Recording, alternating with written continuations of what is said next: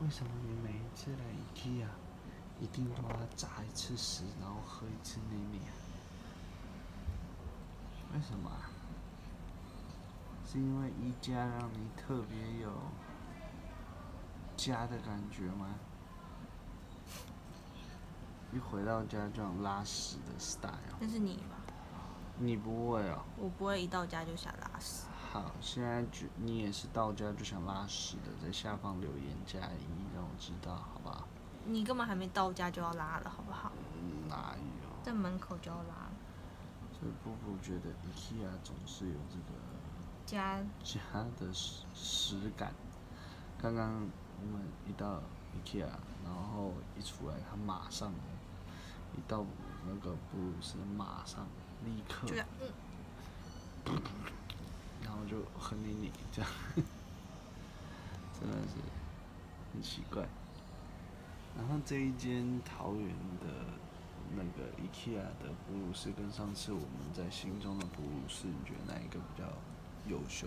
忘记新庄了讲新庄是独立空间啊，有洗手台、哦，啊。它但它只有一间，对，它只有一间。对，这个是有，它是哺乳室是两间密闭的，而其他尿布台都是都在外面。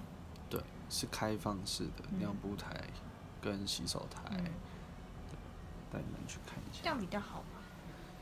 有好有坏。然后，啊，这个就是它的哺乳室了。然后呢，这个是桃园的哺乳室啊。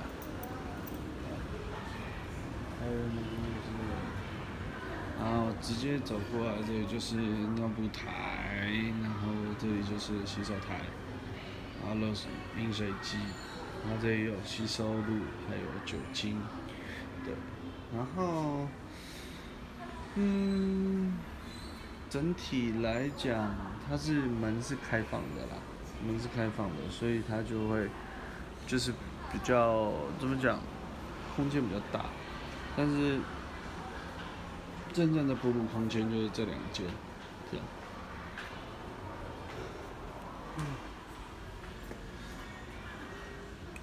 然后，不过我觉得这里面有一个很棒的事情是，它的灯是用那种暖色灯，就这个空间很舒服，而且是这种沙发椅，但是风太强了。风太强，风太强。但是我觉得用这种暖色光，这里面就变得比较温馨。其实我刚刚有一度觉得，这张沙发如果在这边，应该可以睡它一个下午没有问题。是不是？为什么你每次来都要大便？那我们等下就去逛 IKEA 看，等一下逛会逛到什么东西，再拍摄跟大家分享哦。